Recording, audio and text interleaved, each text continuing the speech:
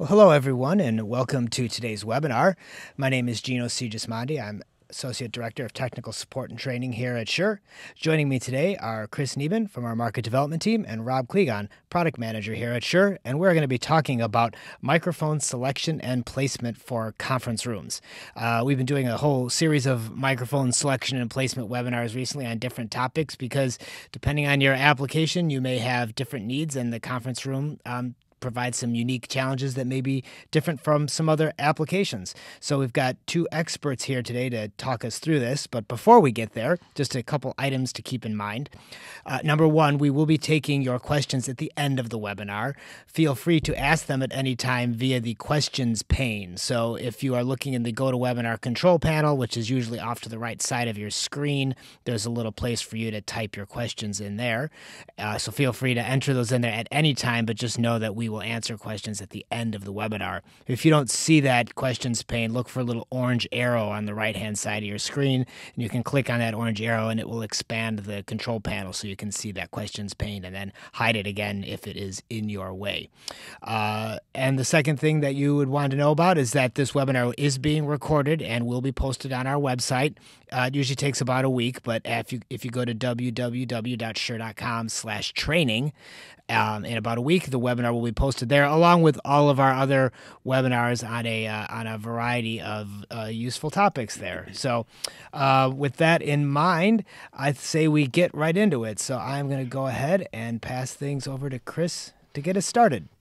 Criss, howdy, yeah, we'll get this thing going here. So, um, a lot of times we get asked about placing microphones, which one's the best one for conference rooms and such. And while this is very important, picking the right one, not only form and function really, but uh, there's some other things that we thought would be good to discuss beforehand, uh, which include acoustics. Acoustics play a major role in how your conference audio uh, plays out. So, uh, with that, we're going to touch base on those things, what to watch out for, and hints on how to improve conference room acoustics. Of course, talk about the function of a microphone, in other words, its intended use, uh, polar patterns to be reviewed, the actual user interface side of things. Um, also, the form of the microphone. Hopefully, this actually follows function. But the different forms of the microphone, uh, of course, can include things like being wired or wireless, or maybe even not visible. Uh, that's a good one. We'll get there in, at, towards the end here. But uh, moving along here, this acoustics thing, why in the heck does it matter? Well, as you see here in the graphic, speech uh, tends to become attenuated over distance. And at some point, it actually falls off into the noise and reverberation. Uh, that that distance at which the noise starts to become part of that noise floor or that reverberation uh, space is called critical distance. If your microphone is beyond that point, the noise and reverberation is so high, or the ambient sound of the room is so high that the voice is now part of that noise, there is no microphone, at least not today, on the face of the planet that uh, can differentiate between a human voice and the rest of the noise that's happening in the room. So, that direct sound from the talker, uh, capturing that direct sound well above the noise floor, is really critical. Well, what causes that noise? Uh, in most cases, HVAC, which is your heating, ventilation, air conditioning, uh, that's usually the biggest uh, offending thing in the room. Uh, the ducts themselves can can whiz and whoosh, uh, create hissing sounds. The vents also, um, really, this is this is where a lot of it happens too. The the sound of the air passing through that vent creates some kind of a noise.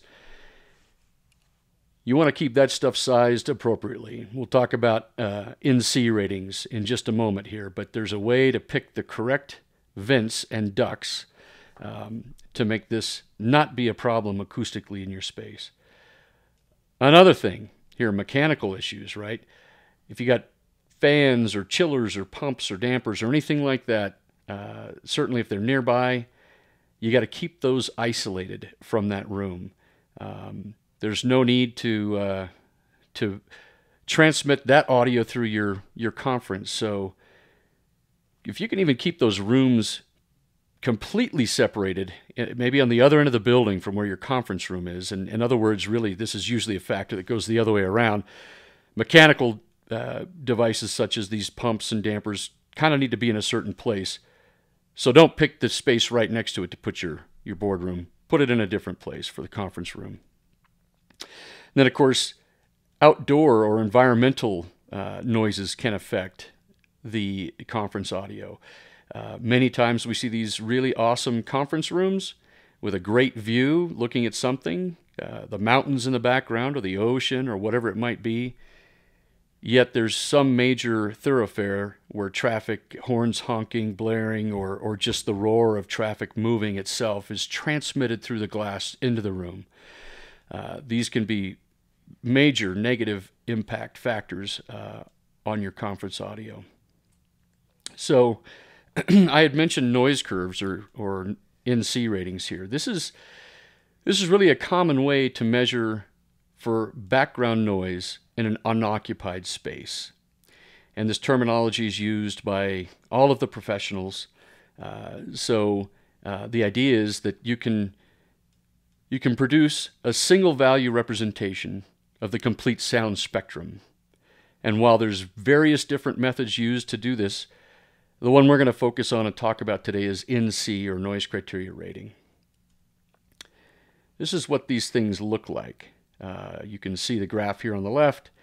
There are several different uh, uh, segments here. We've got a, from the left to the right on that uh, graphic is the actual frequency. So 63 hertz all the way up to 8,000 hertz.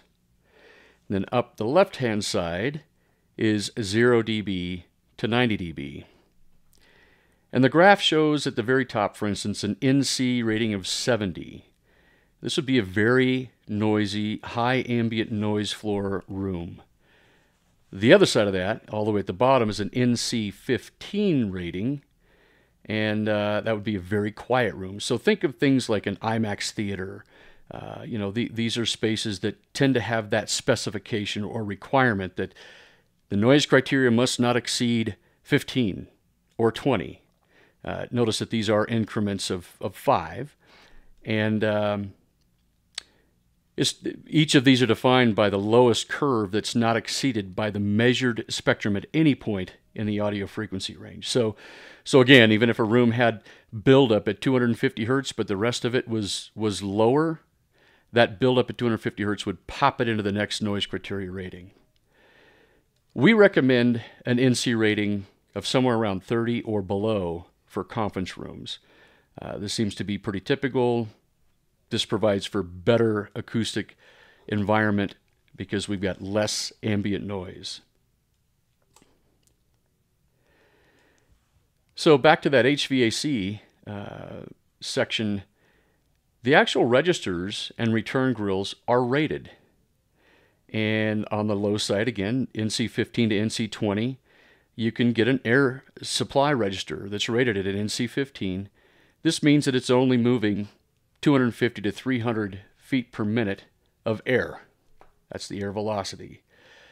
The grill on the other side is 300 to 360. And then a higher NC rating room, so NC40 to NC45, that supply register is moving as much as 650 feet per minute. Uh, this is again the air velocity. So you're going to start hearing more of that noise, more of the air sound moving through that vent, through that register. So back to this idea, we want to isolate any of this equipment that moves. Certainly, if you can see it, you can probably hear it. So get it out of the way, isolate it. Uh, select different diffusers for that HVAC system. Um, want to give a quick shout out here to Avant Acoustics. Uh, they actually posted a blog on this very thing uh, just end of last week that dovetailed nicely into this talk. So this is almost point for point their their uh, their blog here on things to be cautious of for acoustics in the um, in the conference environment. So let's see here, moving along. Ah, also much must seal the gap. So anywhere there can be air that moves through a gap, audio can move through there as well. So things like doors and windows and other penetrations, maybe where mall, walls meet each other, uh, the floor and the ceiling. If again, if air can get through there, so can sound. So make sure all the gaps are sealed. Having a massive building envelope. This is really a multi-layered uh, wall or roofs and windows. Uh, all of this with the idea that you're isolating the inside of your building from exterior noise sources. So, unless you enjoy the roar of tra- traffic coming into your corporate room, your conference room, think about doing this multi layered uh, walls, roofs, windows, all this stuff to really have good isolation from that out- outdoor exterior noise. Uh, uh, sorry, jumped ahead too quick. also, build the walls to the deck. So, what this refers to is uh, many conference spaces have drop tile ceiling, or maybe there's a void to the ceiling above, even if there's not drop tile. But what happens is in the larger floor space, if all of the ceiling space above is open, potentially we have another space where audio or uh, ambient noise can play into and, and get transferred into other rooms. So if we build the walls in those in those rooms all the way to the deck, this helps to stop unwanted sound from penetrating into other rooms around that one room. Also, you want to uh, put batten insulation in the stud cavities of any portion, uh, or sorry, any partition separating two occupied spaces. So this is the easiest way to improve performance of the partition itself. Um, sometimes folks, you might have experience with this, like for instance with air walls that come in for dividing up spaces. If those walls don't have enough absorption or batten in, in between them, uh, it's as good as just a big another big transducer that's allowing uh, sound to transmit into other spaces. This is another big one, avoiding concave shapes. If you've ever been to a uh, any time any type of a a space that has these concave spaces, these shapes, this circular round, these domes, barrel vaults, etc., etc. Someone on the other side of the room could whisper, and you can hear it just because of the way that audio gets transmitted and bounced off of these. Uh, this, in other words, this very reflective space. So avoiding these types of shapes is really good and important to keeping your acoustics in check. Choose hard and soft surfaces appropriately. Of course, this is not always up to us lowly AV folks, but we certainly can recommend it. Um, a lot of these boardrooms these days have three glass walls. Three of the four walls are glass, very reflective. And then the other surface is got some kind of a large display on it or something. Ideally, you're putting as much as 50% absorption or covering on your walls to help absorb uh, any kind of acoustic sound that's bouncing around. So, uh, this is important here.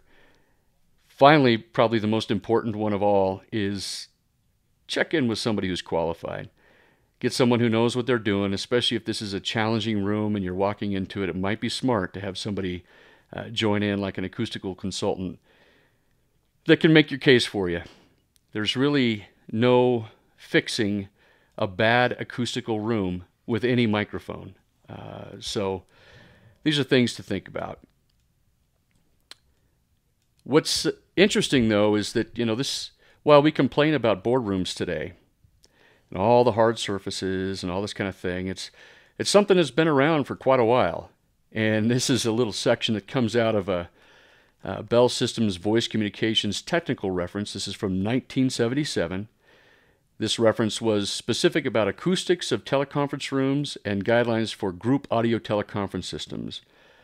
By the way, if you wanted to read this whole document, it's available on our website. Uh, on the go to shure.com uh, go to find an answer and you can search for FAQ number 3835. You see that there. But anyway, this, uh, this kind of really illustrates still our challenges today. Unlike tele- telephony between handsets, the acoustic properties of the conference room and the placement of microphones in the room critically determine the level, the speech signal to ambient noise ratio, or in other words, critical distance, and the reverberant quality of the transmitted speech. Particularly in multi-point conferences, these three factors are easily judged and critically commented upon by the users. So again, I think we've all, all been in the boat where we get that call and there, there's complaints about how the audio system sounds, but only to kind of be able to point back at some at a text like this saying, well, maybe we've got reverberant issues, maybe we've got uh, ambient to noise ratio issues, we, or excuse me, single to ambient noise ratio issues. So uh, typically, this thing sums up exactly what the problem is with any room. But knowing that, knowing why acoustics matter, kind of getting a grip on uh, what you can do to uh, fix some of these problems or engage the the, the uh, smart people like our acoustical consultants to help with solutions. The other side of that is is correctly choosing the proper microphone and placing it in the right place. This will also help for more intelligible audio.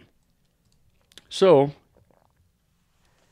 the biggest question we get the exec comes in and says, I want broadcast quality audio. This is what we want for conference audio. And so we show him what that looks like. Here he is wearing his uh, broadcast BRH 550, excuse me, BRH 50 headset. Uh, and then, of course, they laugh and they go, Well, we'd never do that. We couldn't have that for conference.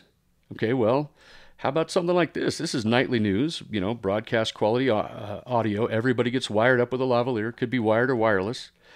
Nah, we can't do that either. You say, well, maybe it's radio broadcast. So this is actually the setup I'm using right now. This is an SM7B on a nice long extension arm with headphones and and you go, that's uh, that's broadcast quality audio. And they go, are you crazy? We're not going to do that on our table. Well, of course you're not. That's true. However, all of these options increase signal to noise ratio, right? This is our critical distance playing out over again. The microphones are close to the talkers. We've isolated headphone feeds for the most part, and uh, acoustics aren't playing into this idea.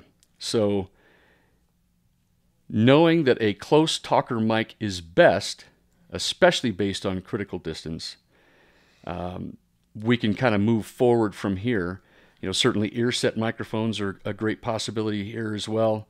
Uh, but most executive conference rooms are going to want to see something uh, that is not a close talker microphone. And by the way, it becomes a compromise, right? The further the microphone becomes uh, away from the talker, the more of this ambient noise issue we have in the room. Critical distance becomes a factor. So let's look at polar patterns. Many times we've been asked, well, just show us the best omnidirectional mic you can have because we want to pick up everybody all around the table. And so you might consider an omnidirectional microphone. This picks up 360 degrees all around, everything equal. The only challenge is, is that uh, most of the rooms that we're putting microphones into these days do not support an omnidirectional microphone. If we had a noise criteria rating somewhere down around 15, we could probably get away with it. Wouldn't be too big a deal. But the reality is they're all up around 30, 40, 50, and we need something with more rejection to reject more of that ambient sound. So you could consider something like a cardioid style mic. And now, if you notice the graphic on the uh, right hand side there, we're showing its pickup pattern is directly in front of the microphone, and the further you get off axis to one side or the other, 90 degrees, it starts to become attenuated all the way around to the rear of the microphone where there's the most attenuation at its 180 degrees off axis position. In a perfect world, you would point this thing towards the talker and the noisemaker, whatever that might be, the HVAC or the projector fan noise, would wind up in the null or in that 180 degree section of the microphone. You say, well, that's great, but I have a really high uh, noise floor in my conference room, NC rating's high. We'll say, okay, well, we can continue this with polar patterns where we kind of get them tighter and tighter to have more and more ambient rejection. And uh, you might want to note here, though, that on this supercardioid, where it became a little tighter, now they're starting to become a lobe off the back end of it. So, uh, still, there's a trade off. Even though we're trying to tighten up this uh, the pattern of this microphone, and this is the case for any supercardioid microphone, and the tighter that we go, you start to have this lobe that comes off the back of the mic. In fact, when you look at most, all, any of the uh, microphone patterns available, from left to right here, we start with omnidirectional, mentioned that already coverage at 360. Subcardioid, we start to have some rejection, so its angle of coverage is about 150 degrees. The cardioid is at about 131 degrees angle of coverage. Supercardioid's getting tighter, 115 hypercardioid down to 105, all the way to a bidirectional microphone at 90 degrees. Now, something that's interesting about the bidirectional microphone that's particularly effective in conference rooms, um, even with harsh acoustic environments, is that you'll notice that it picks up equally in, at the zero, per, uh, zero degree uh, in front of the mic, so to speak, and then it picks up equally on the back end of the mic, 180 degrees on the other side. So that could be really effective for covering either side of a conference table, one or two people, depending upon distance, uh, on each side. So again, I could have a person at the zero degree mark, a person at the 180 degree mark, have one single output, not two microphones, but one single output uh, to my processing in AEC, have great uh, ambient rejection. Bidirectional microphones are good. But how do we put those into play? Let's talk about the form of the microphone now. We've talked some about how, the, how they function. Let's talk about the form. So these are the goosenecks are something that uh, I think most folks have seen before, and not necessarily any kind of a big issue for for some folks. They can made to be wireless or wired. Uh, the nice thing about the one you're looking at there in the graphic is that it's that's actually the 10 inch version. We do offer these in a 5 inch, a 10 inch, and a 15 inch. But you can see there with the one that is the, the 10 inch version, it's usually just enough to peek over the top of laptops.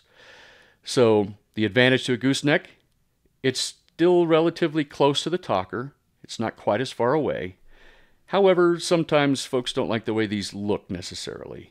Um, they can be, by the way, they, you'll see these with uh, green LED rings around the bottom there. That's another benefit to these is you can show mute status uh, on the device itself so folks know when they're hot and when they're not.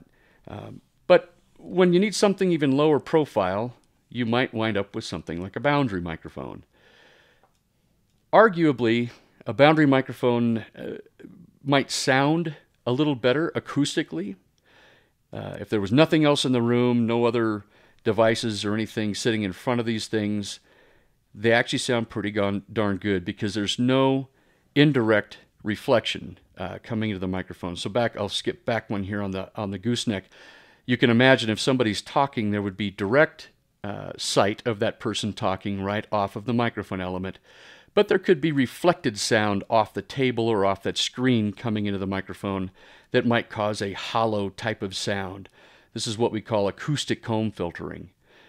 With a boundary mic, we don't really have that issue. Uh, there's no early direct reflections there.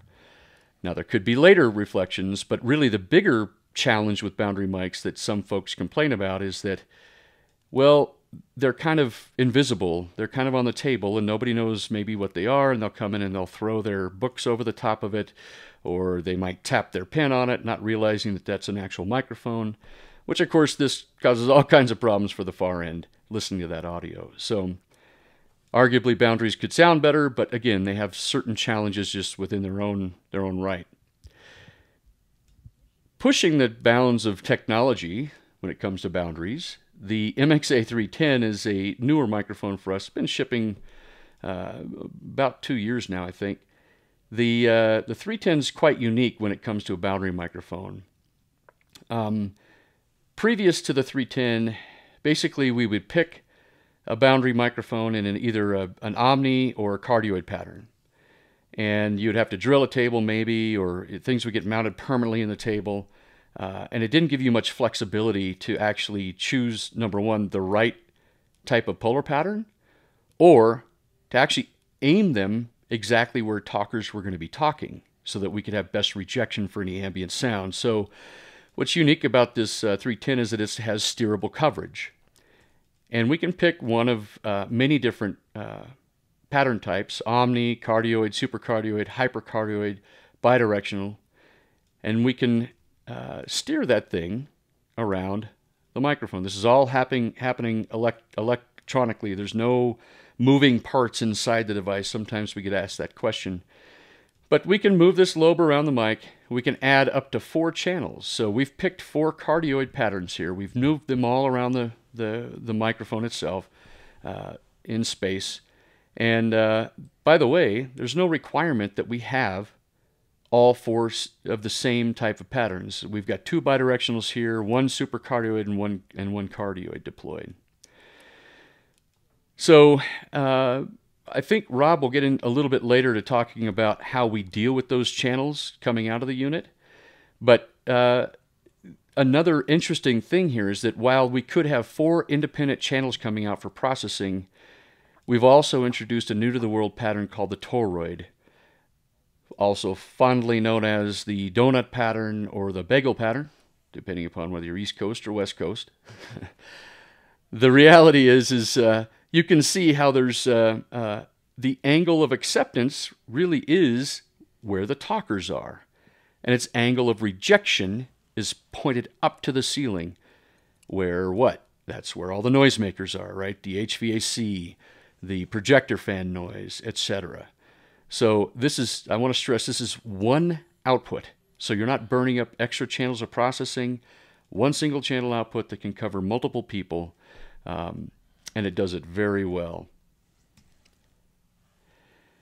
I mentioned earlier, of course, there's wireless versions. If if you're not, uh, if your customer or if your end user doesn't like the idea of drilling holes into their table, certainly this is a Microflex wireless. Uh, you, you're able to uh, purchase it with boundaries that are omni or cardioid, uh, a, a, a, body pack style that, by the way, has a microphone right on board, so you can wear it lanyard style, or you can plug an ear set headset into it, uh, lavalier, etc.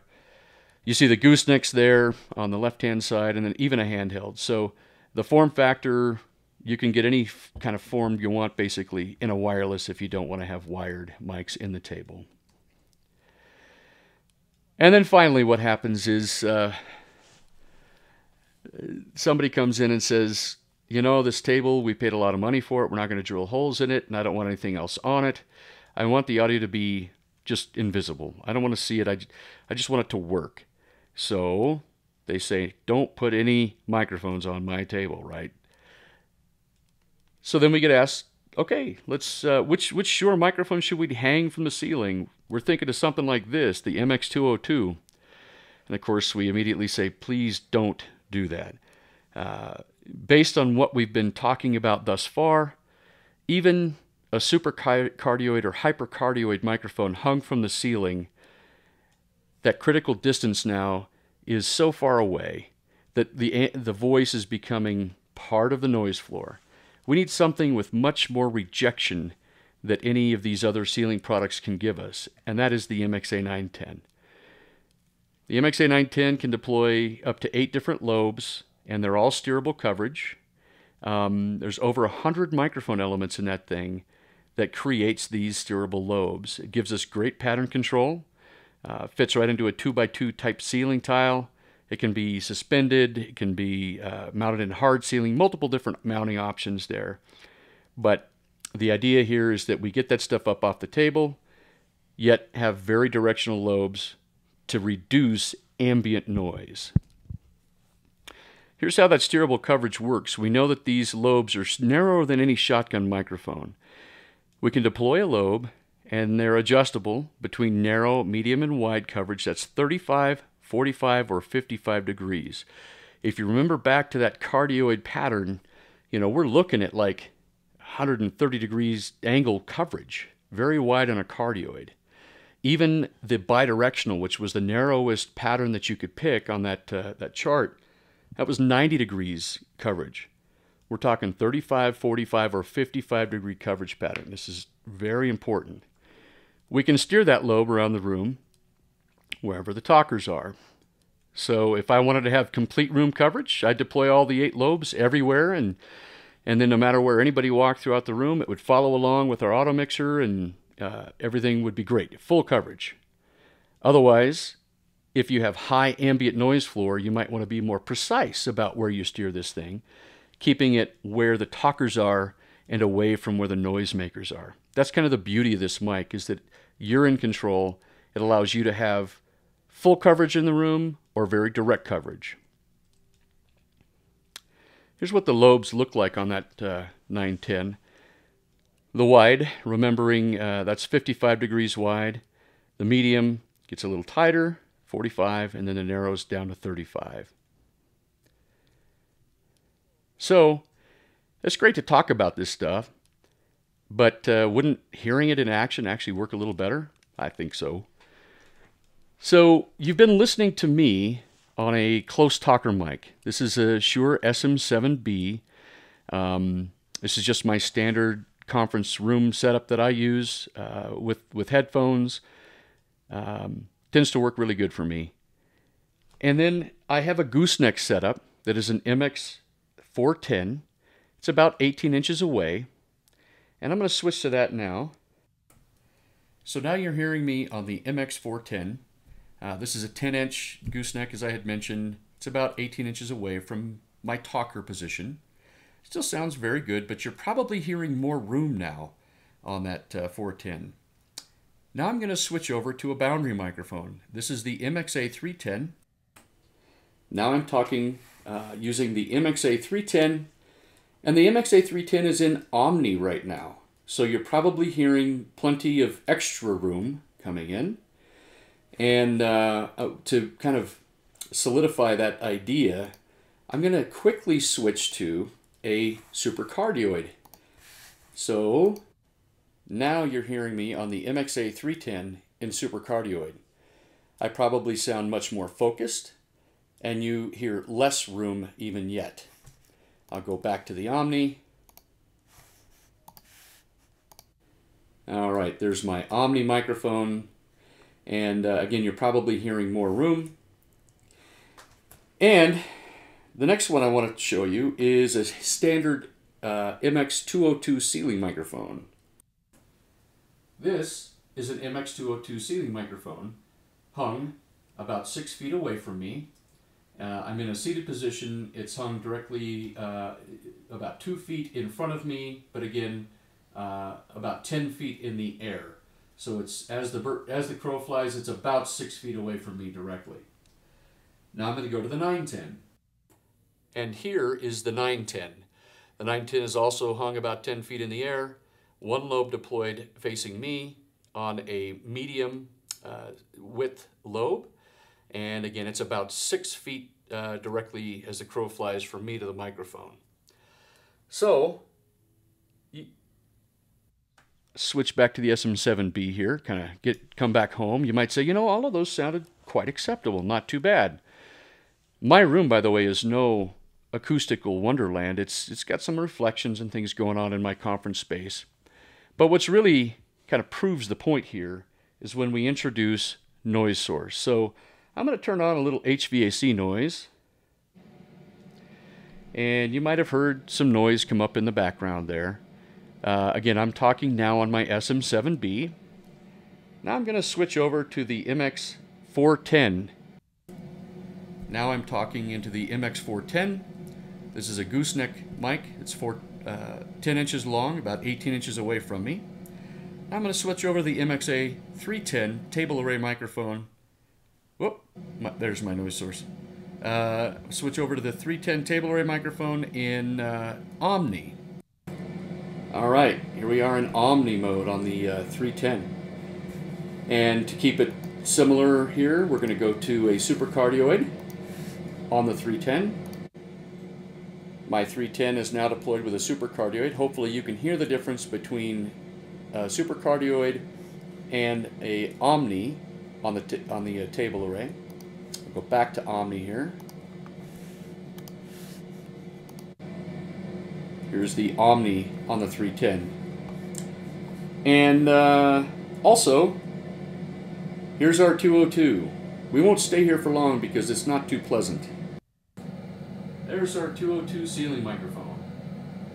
Ambient noise at uh, nominal level, but my voice is probably covered up, pretty much buried in that noise floor, is my guess. Now we're on the 910. Here's the 910 with the same noise floor as all the rest. You probably hear better rejection.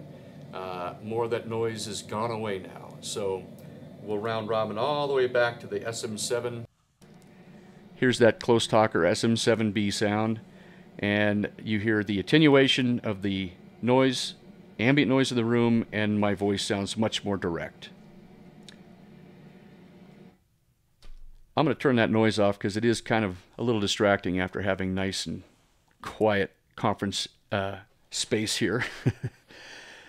so um, that's kind of a round robin on the on how things sound. I wanted to turn this over to Rob to give us some updates on the 910. All right, thanks, Criss. Um, so, uh, for those of you that may have stopped by the Shure booth uh, at InfoComm, uh, we were showing off some new firmware for the MXA 910 and 310, uh, which is going to be released. Uh, you'll be able to download it uh, from the software Shure software update utility um, this week. It should be out any any day now, so check back again for that. But just wanted to give you guys a uh, quick overview on some of the new features uh, that's coming out for the ceiling array and the table array. so we've got this 910 right here. And uh, the first thing uh, I want to show you is uh, over here this EQ contour. Uh, so uh, this is basically you can think of as like various uh, quick EQ presets where you can just choose. We have a, a, preset high pass filter, a low shelf filter, or a multi-band filter, or of course you can just turn it off. so think of these as just quick little like starting places where you can uh, tweak the sound of the microphone. Uh, and they can be used basically in addition to the channel EQ uh, that the microphone has as well. So uh, makes it a little easier to just quickly uh, contour the microphone and get it sounding the way you want. Um, one important point is that uh, if you do update a unit that's already commissioned, all of your EQ settings or the low shelf filter uh, will all be remembered. They'll all carry over, so you don't need to worry about that when you do the update. Um, uh, another thing on the EQ side here is we have this bypass uh, button, and this is a quick little handy button, particularly if you're using our microphone uh, with the P300, uh, which is our 8 channel AEC processor, because uh, we actually recommend that uh, when you use it with our P300, the microphone should be flat and you should do all, all of your EQing in our P300 Dante processor. So uh, with this bypass button, you can see that I have an EQ contour and I have some EQ here. Uh, that just simply turns everything off. Uh, and then you can quickly turn it back on again. So, uh, also a great way to just do quick A B comparison to see uh, if you like the sound of your mic if you are doing tweaking uh, here. So, that's a little bit about what's new on the EQ side. Um, another uh, change that we've made is on the Automix uh, channel. So, as most of you probably know that are familiar with the 910, uh, you can use each channel uh, direct out via Dante, but we also have a built in automatic mixer. Uh, that's an additional ninth channel. So, we've made some changes to the automatic mixer, uh, some new features here as well. One is we have this send to mix button. Uh, currently, on the uh, older firmware of the 910, all of your channels always were routed to the automatic mix. Uh, now you have the choice to actually remove a channel from the automatic mixer and basically send it as a direct out only. Uh, so this gives you a little more flexibility in your routing out of the microphone. If you want to send um, some signals maybe to a voice lift mix versus a, a record mix or to, to your far end, uh, you can now have the choice to send some of the channels direct out only. Another new feature we've added is basically a second gain stage. So we now have faders on the AutoMix page. These are in addition to the uh, faders that we have on the channels page. And the difference here is that these faders and meters are uh, before the gating decision, before the automatic mixer. And here on the AutoMix page, we have uh, the faders that are uh, after the automatic mixing. And these are great uh, tools to have now because if you have a talker that maybe is a little quiet, you want to turn them up just to give them more level. Uh, if you turn up the gain before the automatic mixer, you're actually giving priority to that channel and they're going to always gate on, maybe even if they're not talking. Uh, but now having the gain control after the mixer or post gating, you can now adjust uh, volume levels without changing your gating decision. Another new feature for those of you that are familiar with using the automatic mix on the 910, we have this echo reduction uh, feature, which can help to uh, prevent uh, echo uh, when you're using it directly with a soft codec or a hard codec without per channel AEC uh, in between. And uh, we still have the same levels of echo reduction soft, medium, and hard. But now what we've added is a fader and meter here as well. So you can actually see the level that's coming in to your echo reduction reference, and you can adjust that level right here in our software as well. So that's another new update in this 3.0 firmware that's going to be coming out. A uh, couple other new features to point out. Uh, one is a uh, couple updates to the LED. One, we have uh, more uh, brightness settings. So instead of just a regular and a dim and an off. You can now be more granular in your brightness setting of the LED. Um, and one of my favorite features is we have a whole host of new colors you can set that LED to. So if you, you know, customer wants to use specific corporate colors or maybe university colors or whatever, you want to show different room statuses, uh, you can have turquoise, gold, cyan, sky blue um, all sorts of nice little colors. And of course, you can still turn off the LED as well. So I think the last uh, new feature to show is um, for those of you who are familiar with uh, using the auto position feature on the MXA 910. Uh, this is a great way to quickly move a lobe to a specific talker position when you're doing the setup and the commissioning, um, and then make sure it's in the right spot and tweak it from there. Uh, anyone who's used this feature in the past knows that it can take about 20 to 30 seconds per channel uh, to do this position. So in this new firmware, what we've done is really sped up that algorithm. Um, so I'm going to show you visually what that looks like. Obviously, you're not listening to the 910 right now, but I'm going to go ahead and try an auto position on this channel one here. We'll see how long it takes to uh, catch my voice. So I'm just going to start that here, and I'm going to keep talking, and it's listening for me. And there you could see I couldn't even get through a sentence, and it moved it to my position in the room. Uh, so that just really cuts down on the commissioning and setup time with this new uh, faster algorithm. So that's a little bit about what's coming in the MXA 910. Um, we have a lot. I'm going to go ahead and open up the uh, 310 here. And we have a lot of similar features uh, with the 310 as well. We have the bypass all EQ. We have the uh, brightness and LED settings as well. Uh, we also have the uh, fader on the AutoMix, which of course we're not using the AutoMix right now. Um, uh, but probably the biggest addition to the table array is we now have EQ on every channel. Uh, previously, we had uh, we had EQ just a single channel of EQ, and you had a choice of where to assign it. Uh, but now you don't need to worry about that because you can see that we have EQ on every channel, plus uh, the auto mix out as well. So, uh, as I said, this is what we're calling our 3.0 firmware update, and uh, check back uh, later this week because it should be out uh, up on our update tool very soon. All right, great. Thanks, Rob, and thanks, Criss, for all that great information. Uh, before we get to the Q and A section, just a couple more notes. Um, as I mentioned at the top of the webinar, uh, remember you can send your um, sorry, you can view this uh, recorded version of the webinar at shure.com slash training in about a week or so. If you have suggestions for future webinars or other topics you'd like to see us tackle, please send those to training underscore us at shure.com and we will consider uh, any suggestions that you might have. And the one email address that's not on here is support at shure.com.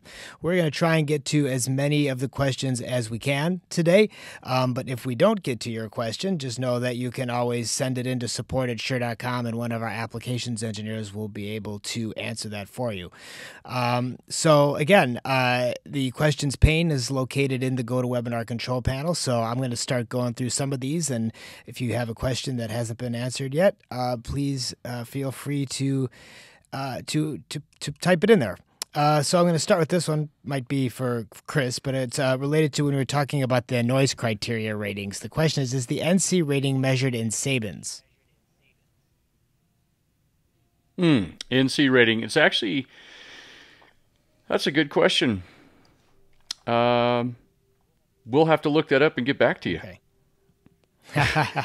Do you know, Gino? Uh, I don't. I believe that's a separate number, um, but I couldn't say any more than that about it. So you're right. We'll look that one up. Good question. Um, let's see. Are Polycom and similar conference phones essentially decorative boundary microphones? Hmm. Well, uh, my answer would be yes. Typically, right, the phone is on the table.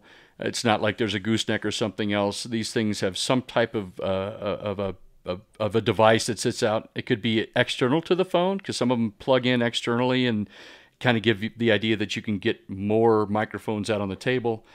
My experience with most of them, though, is that they're probably omnis uh, or cardioids, so they're very wide in pickup range.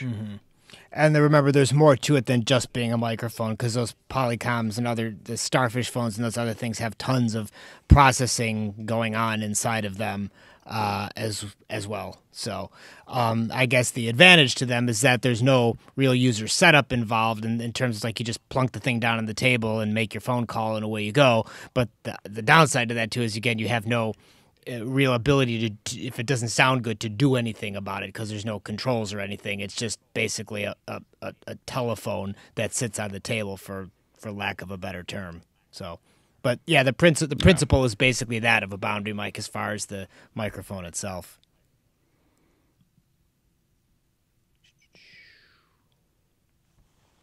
Let's see. What else do we got here? Um, hmm. Well, this is an interesting question, unrelated to conferencing, but related to the MXA 910. Could it work in radio, like for live programs or other, I guess, broadcast applications? I, b- I believe we have seen that work.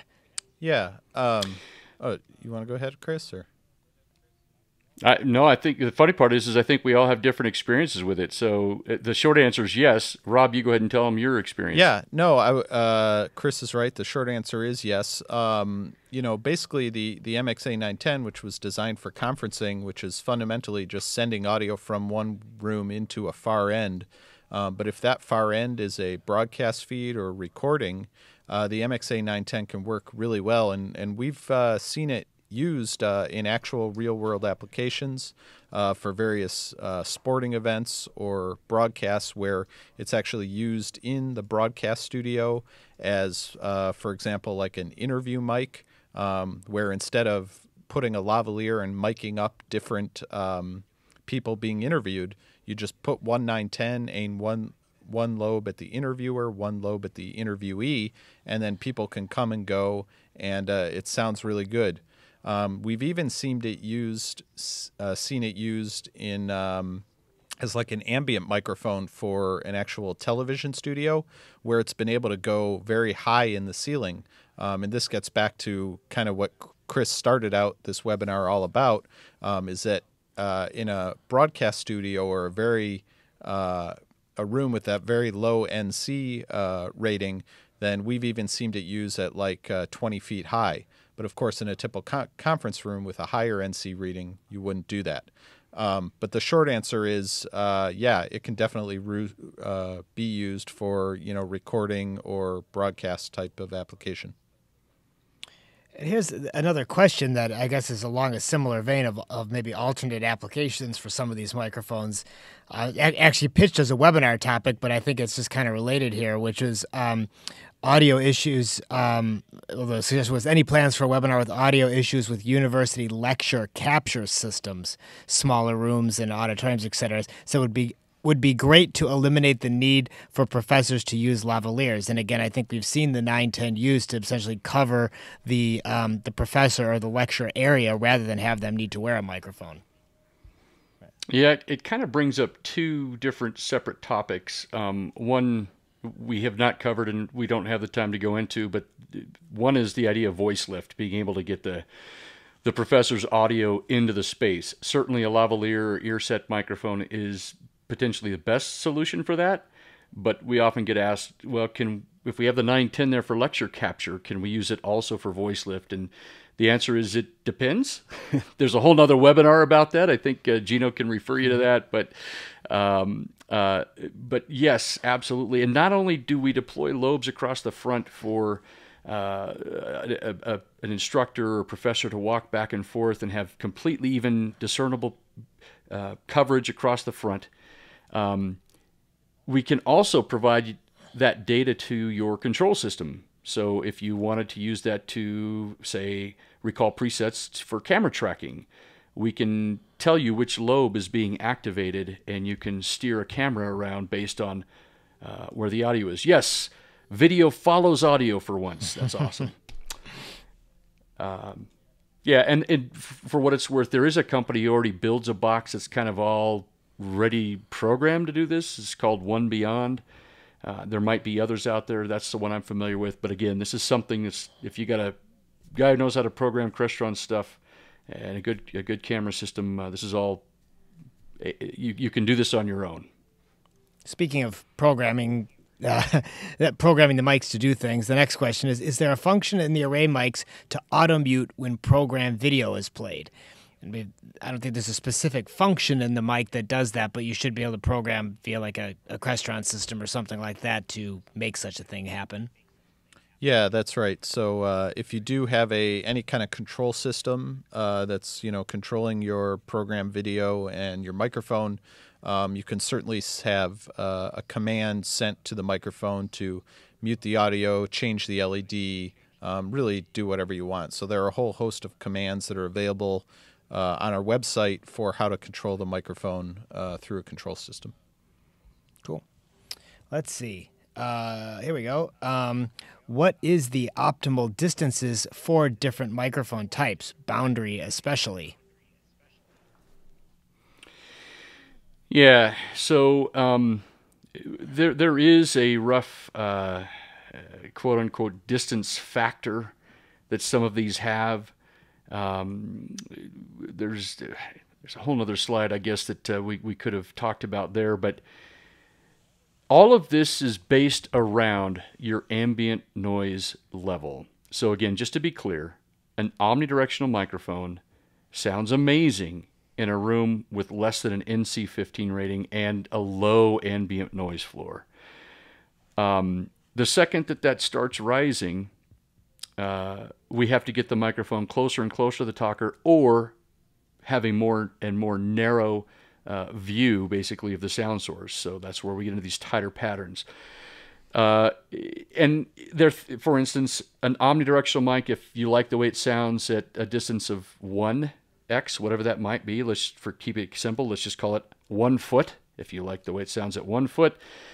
A cardioid has a distance factor of something more like along the lines of 1.7 feet away. It sounds similar acoustically. So almost almost two times the distance a cardioid mic will sound similar acoustically.